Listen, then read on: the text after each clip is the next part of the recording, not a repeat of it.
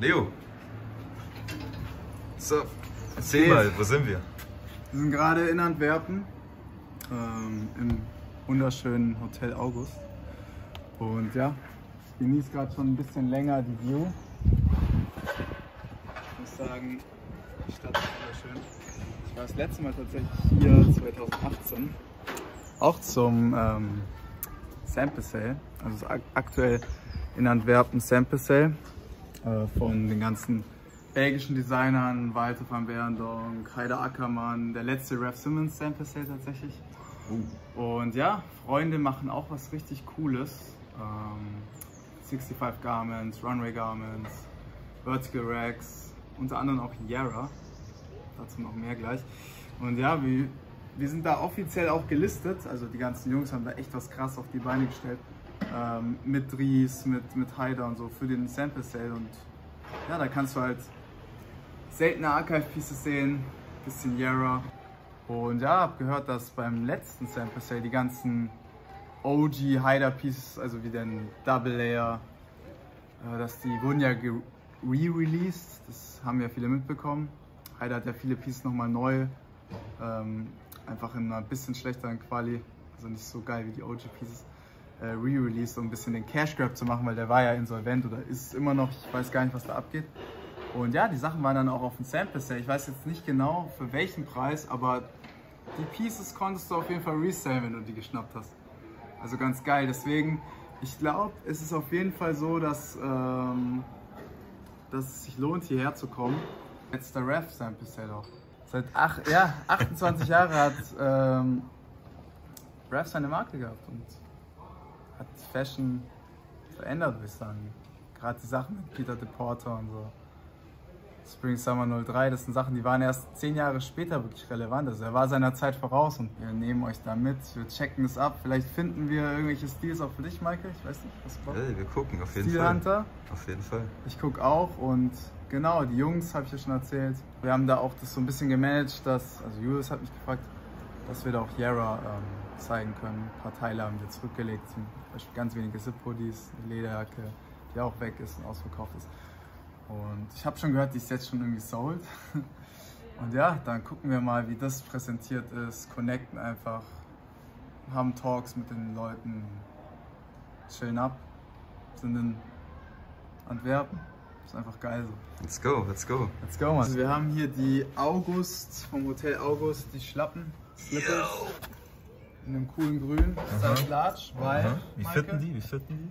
Ich wollte es dich gerade fragen. Okay, ich sag dir ehrlich, ich hatte Size M vorhin. Passen einfach wie so Kinderschuhs. Das ist halt die Girls Size und die Large ist für die Mans. Genau. Dann habe ich hier, ähm, ja, ist doch so, auf, auf, auf geht man doch zusammen. So, da habe ich hier ähm, die Acne Denim Bootcut. Ich glaube, die war von 2021, vor Winter, I guess. Ähm, die Chrome Hearts Denim, äh, die Chrome Hearts Chain, meine favorite Chain geil. Die Chain. Dann meine Chrome Hearts Ringe. Den habe ich schon seit 2017 damals in London geholt. Ja, Yara Zip Hoodie, Everyday Zip Hoodie. Essentials. Spiral Zip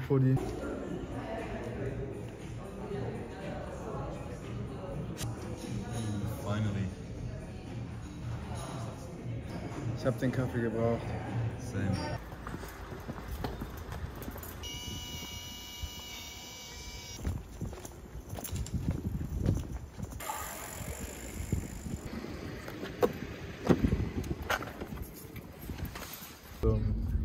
Pop-up, wo.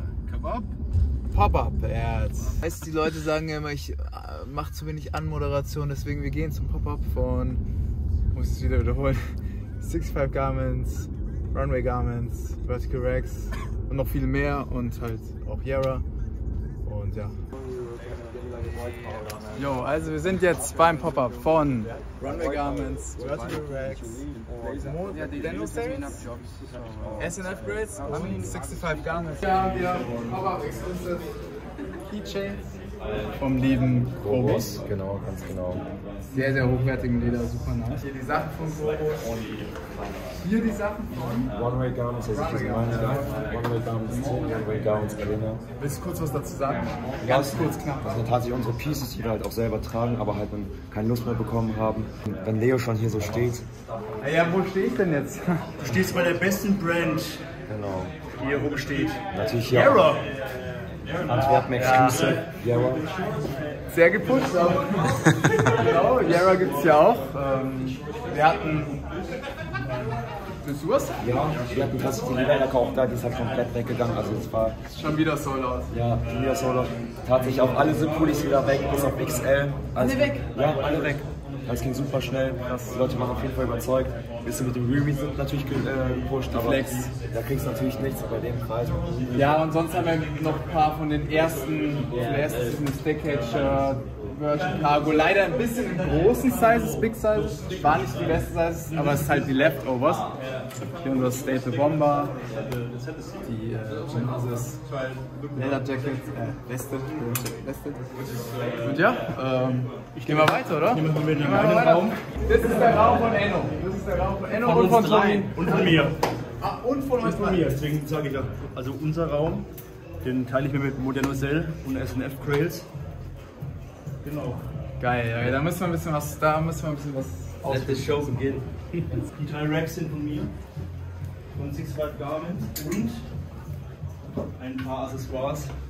Leo wird schon erkennen. Kenne ich. Aber das Waren wir kennen zu wir doch, klein? Leo. Waren wir zu klein? Ansonsten, ich, ich denke mal, die Negative Trade Fans in euch werden es erkennen. Mein absolutes Lieblingspiece von allen Racks. Von allen. Von allen dreien, die jetzt, das ist mein absolutes Lieblingspiece. Ebenfalls Der Dirt. der Dirt. Leo, du kennst ihn. Untragbar, leider in echt. Also schleifst du halt 10 Meter am Boden dann. Bro, schlechte Werbung. Meine Favorite Pieces. Fangen wir mal an mit der OG. Leider. Ja, Classic. Die gleiche auch einmal in schwarz. Somit eine der wenigsten, vielleicht einmal in Europa zu finden. Ist die Miyake auch immer schön für den Sommer. Also das Gegenteil von Cedric, sehr tragbar. Genau. Eher ein bisschen legerer. Tommy, willst du noch deine Favorite Pieces sagen? Ja, einmal hier, zwei ML Crossbills, zwei Murakami Belts und ansonsten Immer noch Grey von mir. Die sind so krass hochgegangen, ne? Vom Preis. ja, schon, also Was liegen die denn jetzt? ja, so unter 1000 keine Chance mehr, wenn du mal einen findest. Hier auch noch ein paar Bickenbergs. Gut viel Schmuck am Start, Ringe etc. Viele Handmade und Unique hier. Das ist äh, ein Unikat. Der ist jetzt äh, aus äh, Aquamarin, Rubin und Smaragd. Mega, mega. Dann machen wir weiter. Shoutouts an World Advanced Rex, die machen immer sehr, sehr nice Preise. Ich habe da auch schon den einen oder anderen Stil ergattert. Und auch Pieces gefunden, die ich schon lange gesucht habe, wie die Maten und so. Genau. Sehr, sehr geil. Deswegen Kuss an euch Jungs. Ich finde eure Selection immer sehr, sehr stark. Da haben wir beispielsweise hier den Itten Blazer, ähm, der ist von ein paar Seasons, das war 0012, genau, genau. Äh, auch ein cooles Piece, leider keine Cobra Snap Buttons, da hat sich die Kiko Community natürlich ein bisschen aufgeregt. Wirst du Ähm, gleich gehatet. Genau. Ähm, ja, ist wirklich ein cooler Blazer. Nicer Cut, Pieces. Ist von der Early Season von Namacheco. Ich glaube, die ersten Runway Season so wirklich. Bitte? Für dich schon. Genau.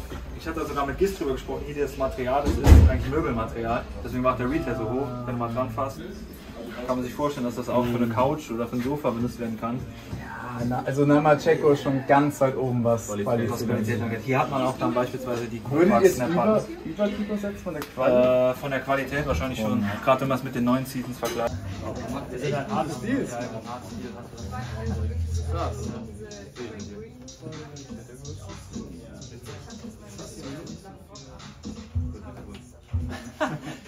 Sehr, sehr geil. Ja, mega. Also, ich bin echt impressed vom ganzen Pop-Up. Also, was ihr da auf die Beine alle gestellt habt, insane. Kann ich nur sagen, sick. Ähm, Danke. Ich glaube, das hat die ganzen Impressionen gerade waren genug, um zu zeigen, dass es ein geiles Event ist und jeder happy sein kann, der da war und vielleicht nicht da war. Ich weiß, macht das nächstes Jahr noch? Ja, wir wollen das jetzt jedes halbe Jahr machen. Jedes halbe Jahr, weil es ist ja immer zweimal, gell? Genau, genau, ja, deswegen. Also es ist eigentlich die Zeit, nach Antwerpen zu kommen. Checkt auf jeden Fall den Pop-Up dann ab und... Also, den lieben Krobus arbeiten wir gerade an einer Shorts für den Sommer mit der geilen Funktion, oder der Funktion, die wir uns gedacht haben, dass du die Shorts halt normal tragen kannst ne? und dann mit diesem, sag ich mal, Element, was ich aus einer, genau, an Sneaker was ich von der Innsbruck, von der alten Militärsjacke, die ich einfach gefunden habe, also do your research immer so, einfach schauen, was gibt es für alte Pieces. Ähm, ja, dass man die eben ranmachen kann mit Corporate Snap und abnehmen kann. Also du hast zwei Funktionen zu tragen und der Kobus hat den Schnitt entwickelt. Und ja, jetzt machen wir ein kleines Fitting hier, oder? Yes. Yo, what's going on? Whoop. Whoop. Warte, ich komme hier durch zu dir. Switch einfach, Switch. wir machen jetzt das Fitting. Was passiert?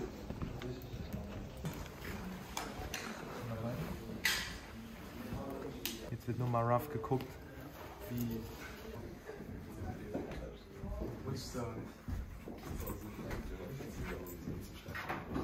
Ja? Fällt mir sehr gut von der Hose. Wo ist das mein Spot?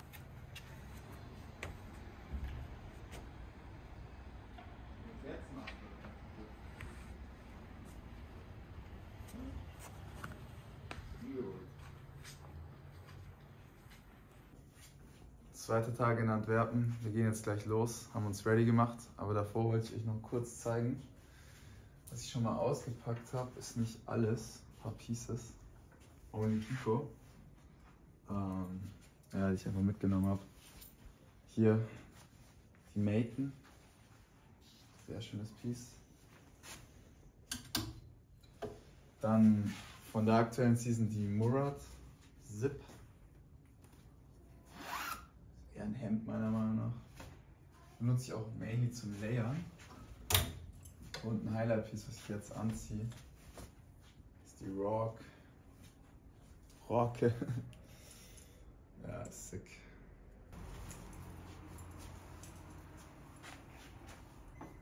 Kommt das mit Schwarz drunter. Das ist Alpaka. Und ja, was ich jetzt anziehe fürs Shooting mit Maike, ist diese Walter Mask, die hier so ein Cross hat, also sagen offen oben ist. Was sagst du zur Maske? Sieht sehr verrückt aus, Leo. So nachts rausgehen Wenn ich die so nachts sehen würde, und es nicht Halloween wäre? ich müsste diese Straßenseite wechseln. Sag ich dir ehrlich. Ja, Mann. Also, wir gehen jetzt los. Ähm, Kiko-Video wird auf jeden Fall kommen, das habe ich ja schon gepostet.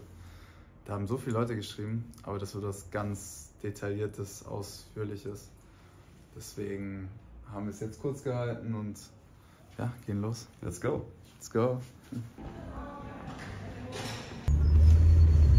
Safety first.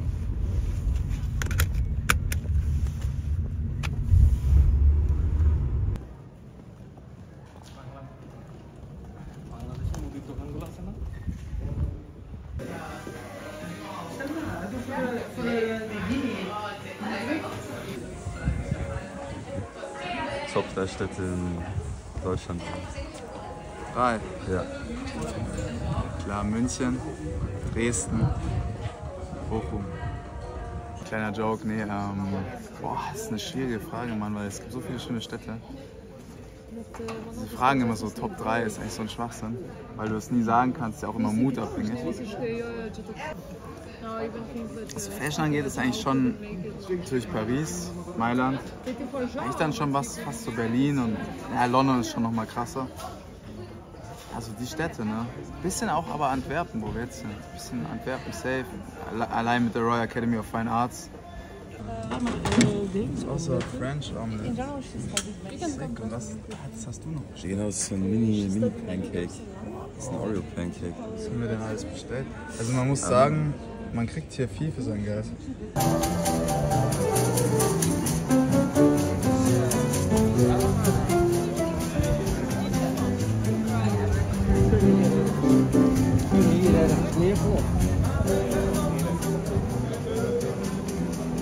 Wer lebt?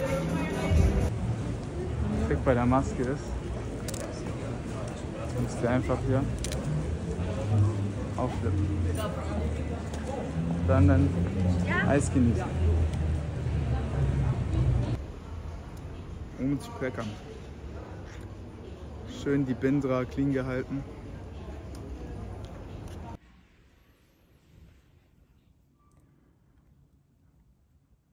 Also hier das Holy Grail Piece von Whitmore.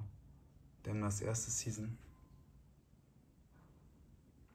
Es gibt eine Re-Edition 2016, aber am Tag sieht man halt, dass es wirklich von der ersten Season ist. Also die gibt es wahrscheinlich weniger als zehnmal.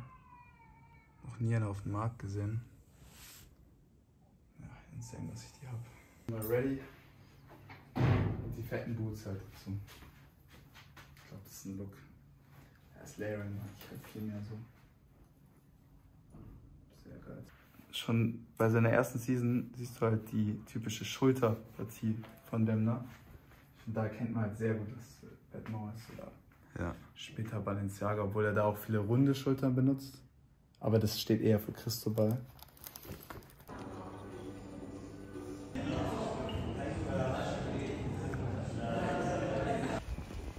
Hey, Entschuldigung. Entschuldigung, hast du eine Uhrzeit für mich? Wie viel Uhr ist das?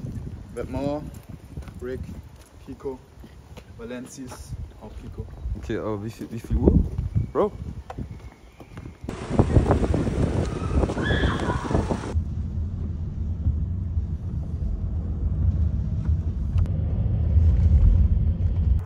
Hey, da gibt's nicht mehr? Nee, wurde aufgekauft irgendwie. An äh, Backyard Archive verkauft. Stimmt. Das wusste ich nicht. Das waren einfach so junge Dudes aus, aus Wien, die, die haben einfach Die haben Aquarium einfach Heide aufgekauft. So. Gar keinen Doch, Sinn. die haben es einfach gekauft, den ganzen Stock von dem so. Ja, Ja, ja, doch, die sind auch close mit den. Heider war ja auch insolvent. Insolvenz. Der war insolvent, Das deswegen die haben die das leer gekauft. Geisteskrank. Dann haben die alles, die ganzen Sachen nochmal. Models. Sag mal was zu dem. Wo hast du denn her?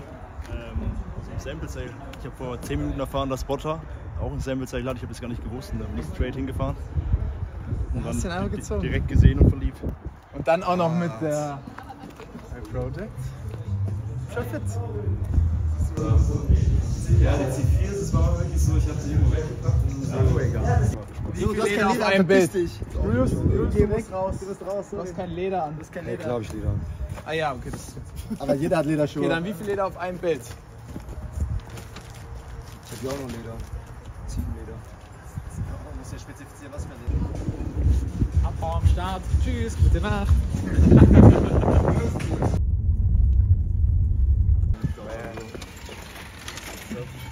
Antwerpen, Digga. Noch gar nicht Hallo gesagt.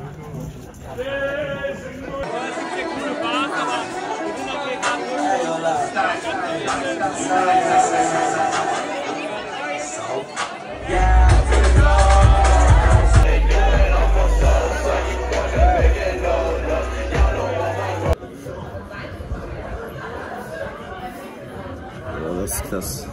Dem ist ein großer Fan, Bro. Bro, ich frage jetzt kurz nach unserem Essen, weil sonst catchen wir safe den Zug nicht mehr. Wir haben einfach kein Sample Sale geschafft, wir waren nur bei unseren Homies.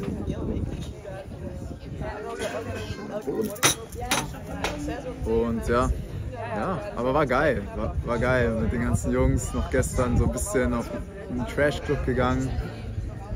Der Club war wirklich. Der war so wack und dann raus und dann irgendwie nur Aber so war witzig. stehen geblieben, eine Stunde, da kam ein Taxi, wir chillen da einfach vor uns Club. War schon geil. Nee, der Trip war krass. Ich denke mir nur so, wir hätten so zwei Tage mehr gebraucht. Ja. Hätten wir alles abgecheckt, wir haben die ganzen Sample Sales abgecheckt, aber wir haben schon gehört, das war. This is for you guys. It looks really Enjoy. nice. Looks really nice. Check mal, Bro. Wow. Okay, das sieht sehr, sehr sick aus. Und Bro, dein French Toast? Ja, ich glaube, ich glaube, wir beenden hier den Vlog, oder? So beim Frühstück. Wir beenden hier den Vlog. Hoffe, es ist ein cooler Zusammenschnitt und sehen uns bald wieder in der nächsten Stadt. Schreibt, in welche Stadt wir kommen.